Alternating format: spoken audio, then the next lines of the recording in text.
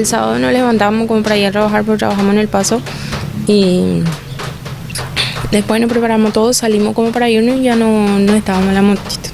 Ya no nos encontrábamos en el lugar, encontramos el portón todo abierto ya y, y se había robado ya.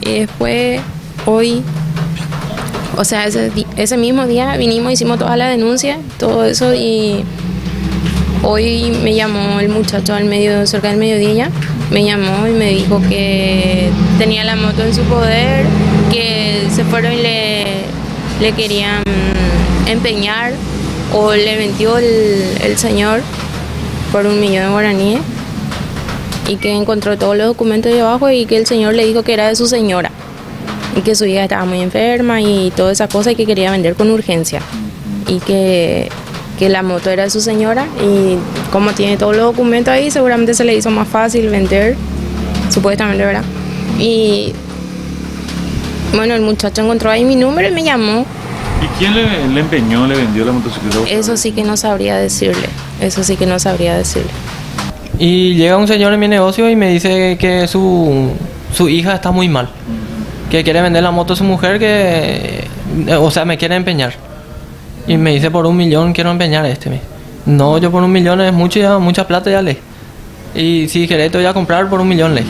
Y bueno, te voy a, te voy a vender, me dijo. Y bueno, entonces me dio todos los papeles, yo miré todo y bueno. Él me dio y quedamos en, ho- en hoy, hoy a la tarde para hacer el contrato. Y después yo, al irse el, el sujeto, entonces yo miro bien la moto, ¿verdad? Y abro el, la baulera y encuentro que la moto, o sea, el... el Documento, ¿no? no, no. El, el asiento, el asiento está tipo estropeado, Forzado. forzado. Bueno, ese era punto número uno. Luego, entonces ahí rápidamente me voy al, a la parte del frente porque la- eh, quedaba en quedaba en ¿cómo se llama? En contacto. Eh, bueno, entonces agarré, destapé y encontré que estaba cortado y añadido. Entonces ahí rápidamente bu- busco, le busco en el Facebook a la chica como dice en el papel, le busco en los grupos de WhatsApp, en todos lados, hasta en mi estado pongo, ¿quién le conoce a la fulana, fulana de tal, verdad? Y después, mirando, revisando otra vez eh, los papeles, encuentro su número. Entonces me contacto con ella. Hola señora, ¿qué tal? Le digo. Le digo que si es que la moto no es robada, yo quiero hacer un contrato contigo, le digo. Y no, mi moto se me robó el sábado. Ah, bueno, entonces venía a llevar nomás entonces, le dije. Y bueno, bueno, enseguida me voy, me dijo. Pero no me jodas, ¿qué? Me dijo. No, bueno, no.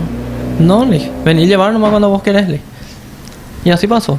Ya de la fecha se procedió a la aprehensión de una persona de sexo masculino eh, tras una denuncia realizada en esta comisaría por un hecho de hurto de motocicleta por la víctima, manifestando que eh, una persona de sexo masculino se contactó con él por vía WhatsApp, de la cual hicieron una cita en la entrada de Trébol sobre ruta sexta de la cual eh, comunicó esta, esta dependencia policial y así también fue, eh, fue comunicada al Ministerio Público por vía telefónica del procedimiento a realizar. Posteriormente hicimos el procedimiento en dicho lugar en vehículos particulares y al llegar el sujeto fue aprendido con la moto que se encuentra a la vista.